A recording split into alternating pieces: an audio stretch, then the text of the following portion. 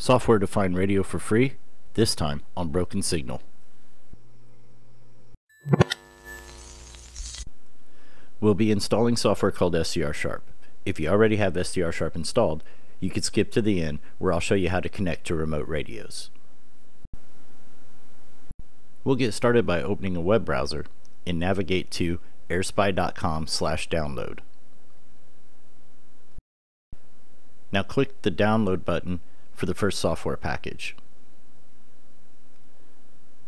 Your download will start.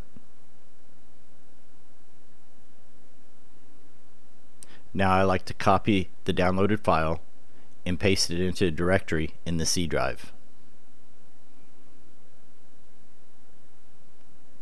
We will then extract the file.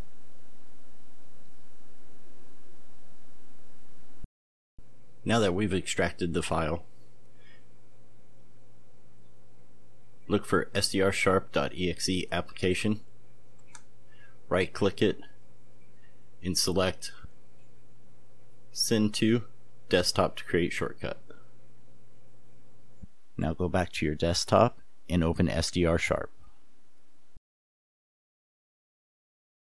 And now in SDR Sharp, under the source, we're going to select the Spy Server network. Then we're going to click the button with three dots, which will open the Spy Server network. In the drop down under Spy Server network, we're going to check ready. Now we can see a list of possible radios that are ready to connect to, as well as you can see them on the map on the right.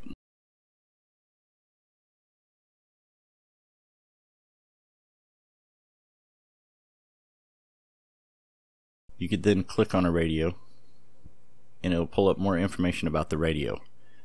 Here we can see that it's an AirSpy HF Plus. You could look at the details, but what I find is important is the frequency range that you're allowed to operate the radio on.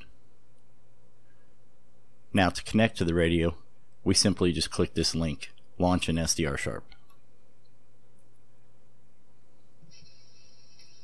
And now we're connected to that radio. We can tune to a station. So let's try an AM station in Australia.